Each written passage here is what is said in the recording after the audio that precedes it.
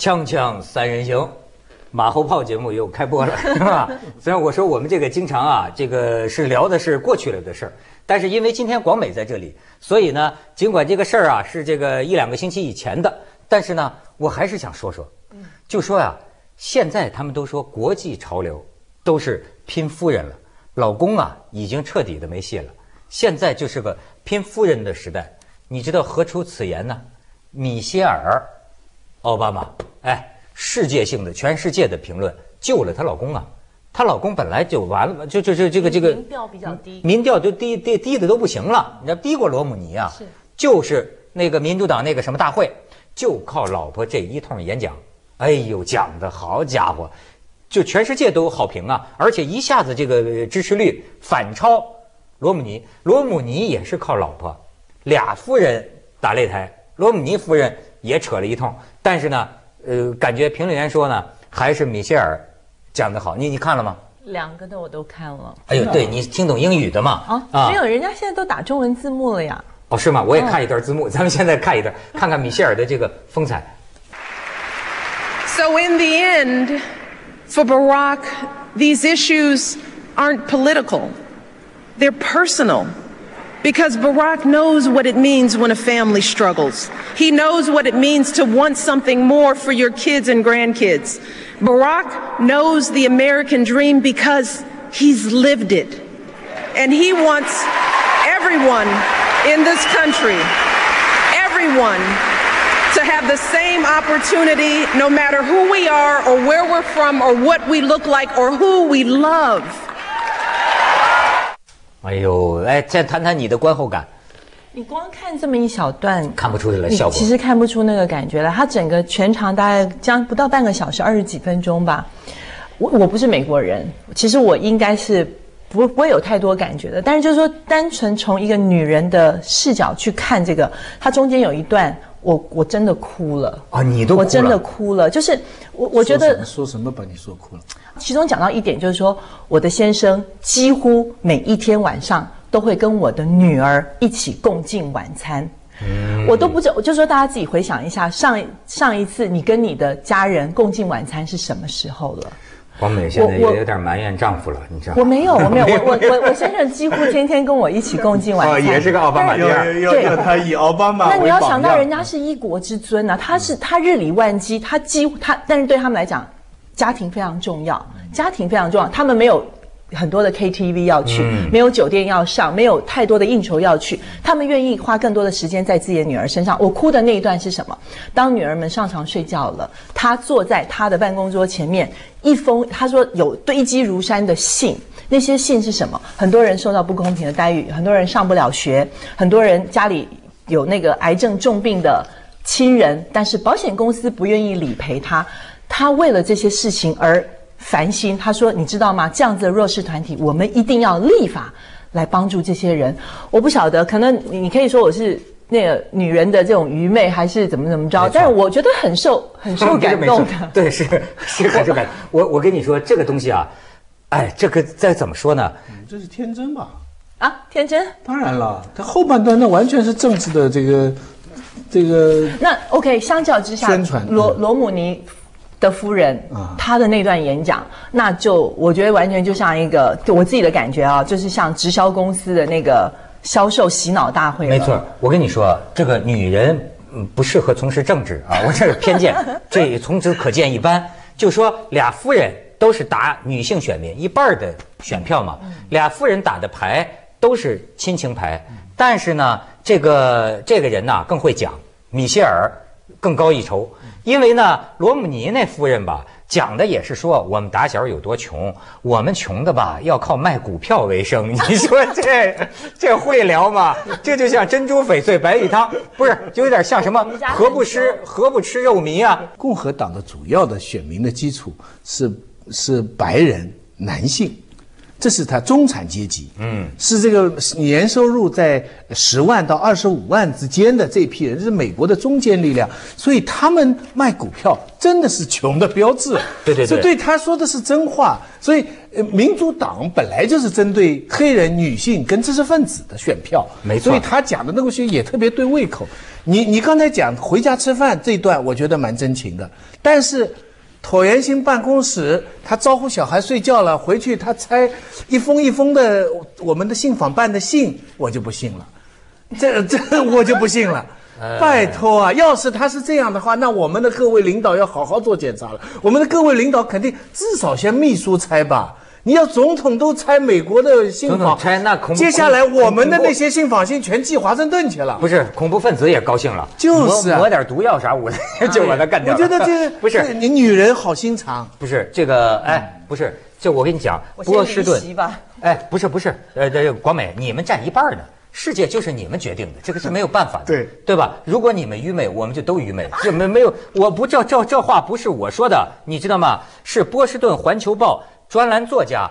他专门就你这个现象，就讲米歇尔这次为什么为老公？哎，我首先第一点，我是承认男人已经颓了，真的，不管从奥巴马还是到我，真的就是我现在就是说，永恒之女性引导我们走，就得找着有主意的女的，男的我跟你说是心胸狭隘、瞻前顾后、左右为难、进退失据，彻底完蛋，就是。就女女你怎么还一串一串？没事，我我对我自己的总结还笔记，我自己总结，真的，我我我觉得啊，女人有特有的这个能耐，而且在今天的这个社会，你要知道，这个电脑啊，手指头的话，男女没差距的，对吗？过去体力劳动或者讲战争冷兵器，那男的高一筹，都靠这个的时候，都或者都靠这时候，女人手指头可比你灵活。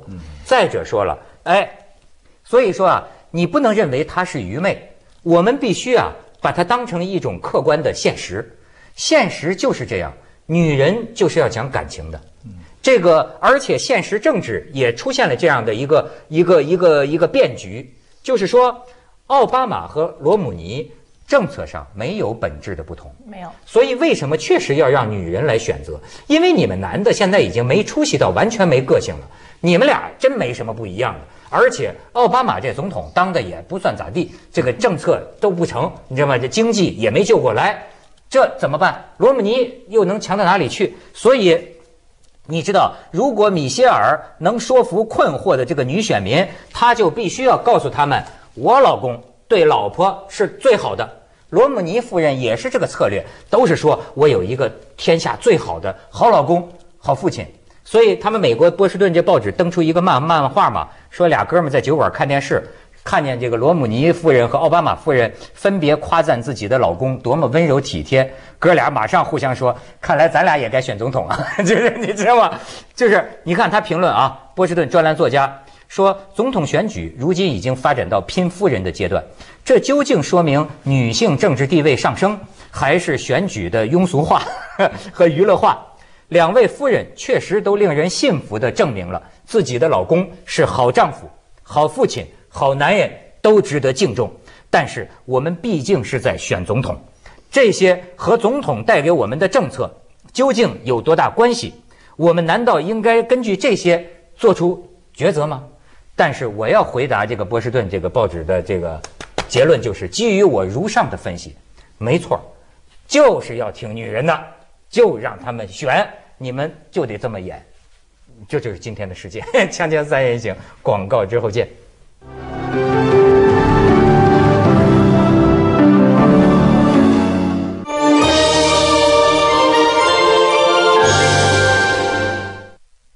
顶九韵古法，配桃花春曲，采无极之水，汇原酒精。年份原浆，古井贡酒。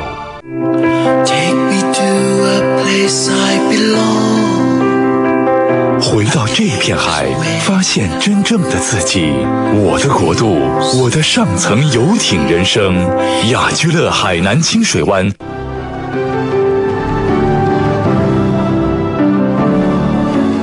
哎，广美，对我们这波士顿环球报怎么说？嗯，我对于你的那个理论呢，我同意一半，不同意一半。我不尽然认为女人应该要去从政，因为女人太感性，太容易受一些周边的事情影响。但是，一个成功的政治人物，他身边的幕僚很重要，他身边的女人也很重要。没错。我我我成就他不一定，毁了他足够。是对，绝对的。对，你可以毁了他，你也可以成就他。是是是，是不是？我我觉得就是说，嗯，其实我们自己这么多的人生经验，就是说，我们有时候看一个男人，他身边他在交不同的女朋友的时候，他反映出来的很多的呃他的生活的习惯，他的逻辑会有非常大的改变。所以，当你看到一个男人有翻天覆地的变化的时候，你就会知道他身边一定出现了。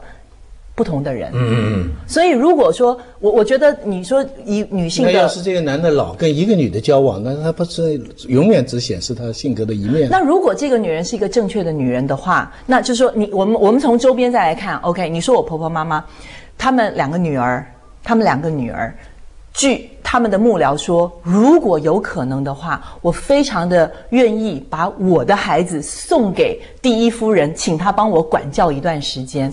你说？就两个孩子已经挺大了，我估计应该有十四岁、十八岁，因为没有他们具体的资料。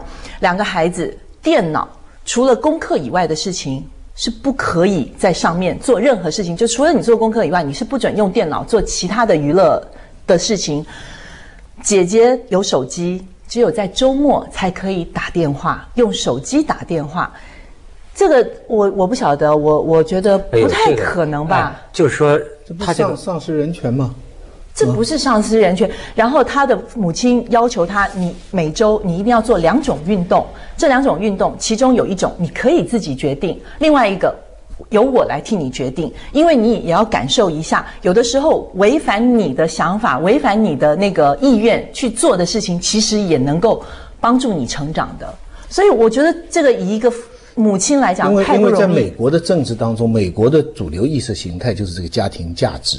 对，所以一旦你选入了白宫，你做总统了，你全家都成为演员。嗯，这个全家都牵涉到国家利益。是，你的一切行动，几点吃饭，吃什么，做什么事情，怎么上学，穿什么衣服，那都需要白宫的专业队伍来帮你设计、帮你指挥。这不是你家庭主妇可以自己决定的，这牵涉我们整个民主党的这个这个命运，牵涉国家利益。所以这已经不单是一个家庭价值了。嗯。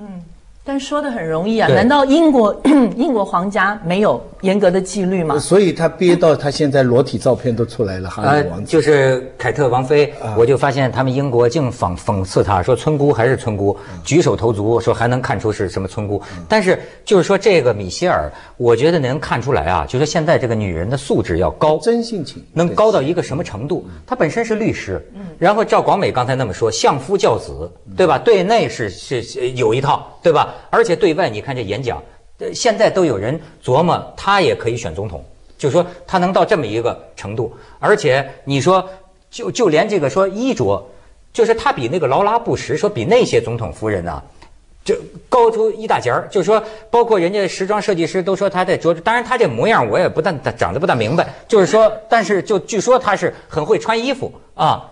这美美国人现在对这个奥巴马夫人的这个欢迎哈，也是。客观上也显示了美国整个社会的女权发展的一个现状，他们超越了把女人当做在家里做贵做做好夫人、相夫教子的一个阶段了。因为相夫教子以前的布什的夫人都做得很好，老布什的夫人是做得最好的。可是现在他们接受奥巴马夫人这样，但是他们还是不接受希拉里这样。你看希拉里，其实从个人来说，希拉里要比奥巴马夫人要。聪明的多，能干的多。要虽然他对我们的钓鱼岛非常坏，对不对？但是希拉里是美国知识分子真的非常喜欢的一个女性。可是她选不过奥巴马。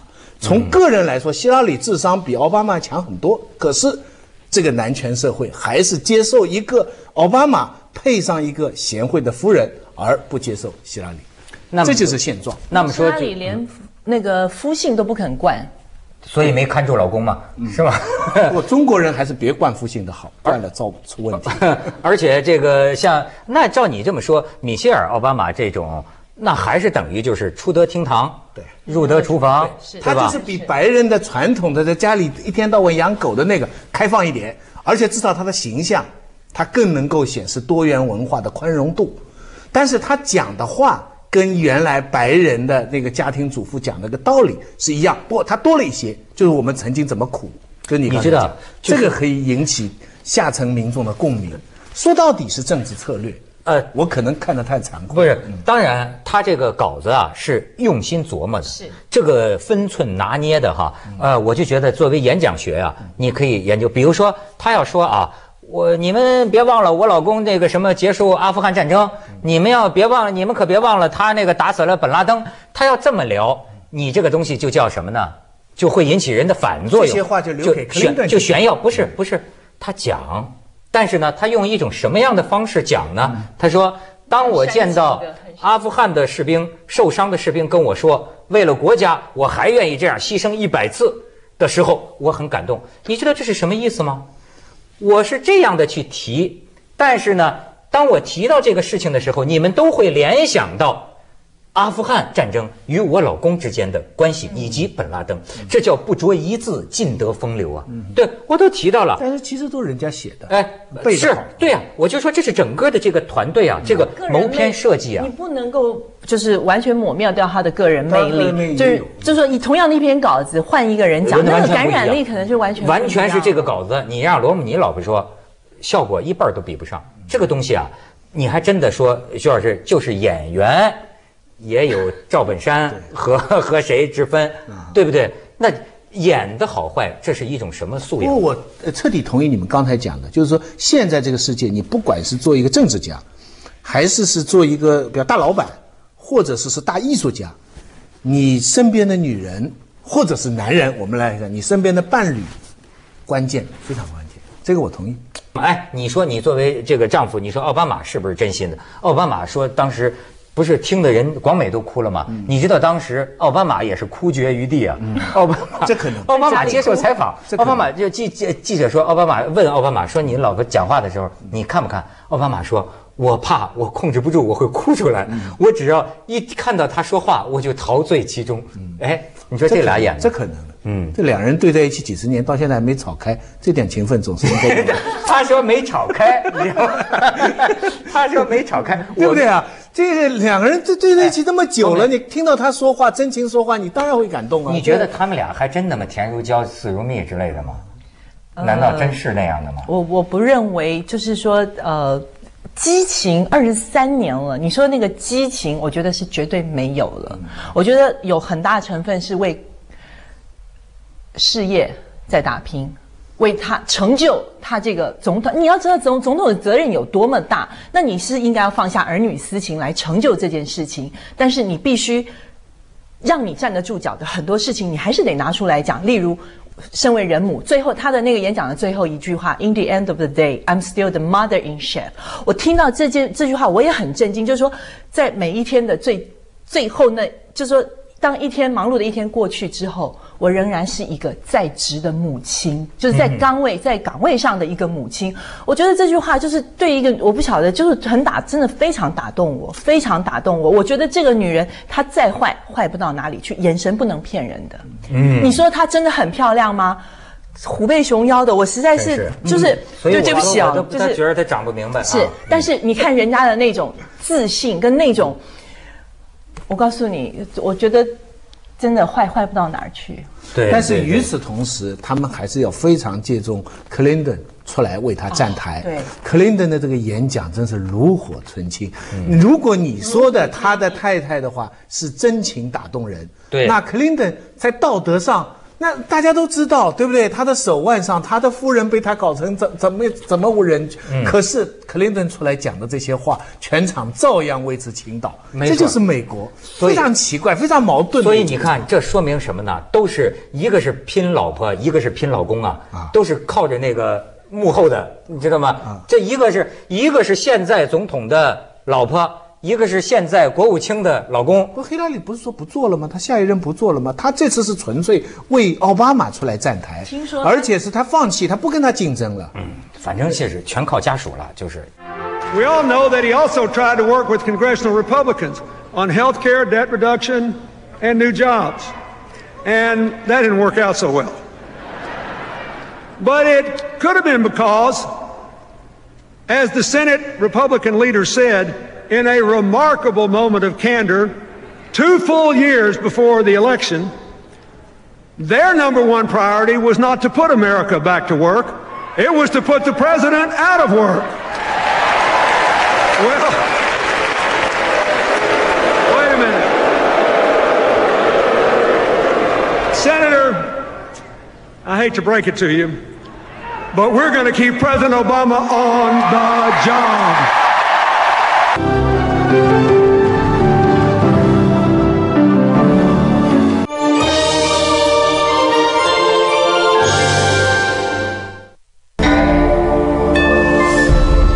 红花国色，花好月圆，酱香典范，红花郎，恭祝全球华人中秋快乐。核心科技就在格力，格力变频技术荣获国家科技进步奖，让节能舒适一路领先。一赫兹好变频，格力掌握核心科技。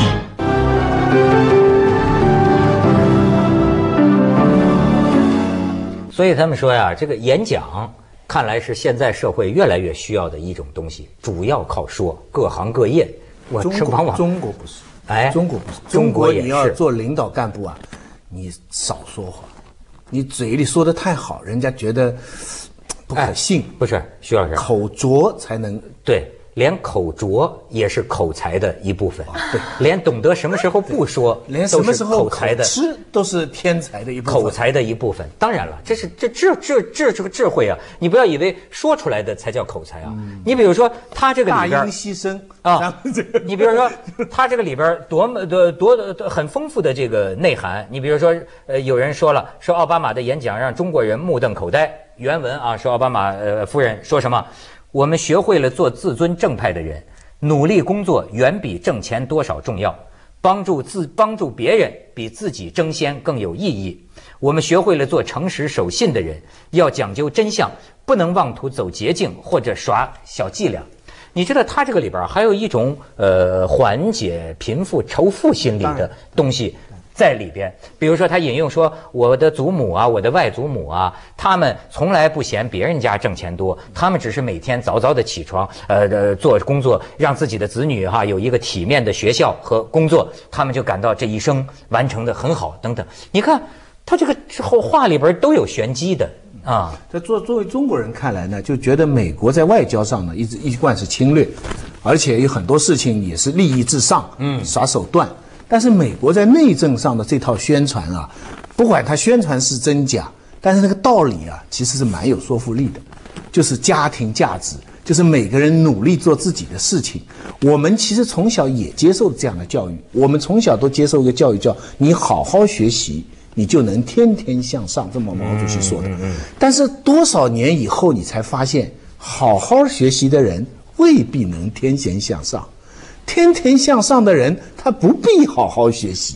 嗯，所以我们现在作为老师的最大的困难是，你是跟学生说实话呢，还是继续告诉他好好学习就能天天向上呢？你跟他说实话，在骗他，害他将来在社会上碰壁。你要再跟他说好好学习，天天上，你好像也在骗他。这才是我们最大的困境。不要说领导，老师都面临这样的困境。太受打击了，您这番话说的我你都将来不知道怎么教育孩子了，是吧？真的。不，你已经好好学习，天天向上了。我很多人以你为励志的榜样。他也是很你高素质的夫人成呐功的了，旺夫啊，对不对你是旺夫啊！听说财富增加了。接着下来为您播出《西安楼冠文明启示录》。广美篇。没错没错，这